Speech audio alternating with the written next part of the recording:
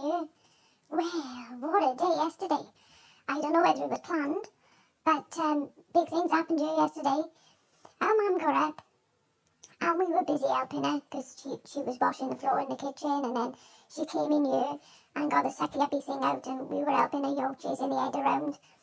And um, our dad, after his breakfast, he went up the town. Now, I don't think he's got over having his hair cut.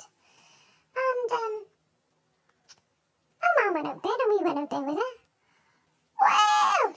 Don't know what done, but the shed was on the floor, totally collapsed. Like he, like it was like he put rubble. And um, well, we were out there all day helping our mum and dad to move it, to shift it. And now we got a big hole in the garden where it used to be. Got a bit of extra place to run round and, and play. And of course, we were up there investigating. Um, running over the top of it, and little Miss Butterwood Melt by her was out there investigating with Jack.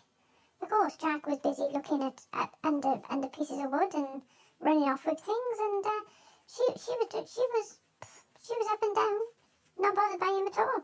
She's getting very good. But I tell you what, I couldn't get over it.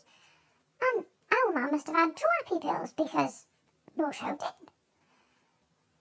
I just can't get over it. Well, what a mess. Oh, pinky blimey. We was out there all day. And I mean all day. And then when we come in, we just had our, had our tea. And, and we collapsed. Didn't do nothing last night. Didn't bath, didn't do nothing. Anyway, take care everybody. Bye.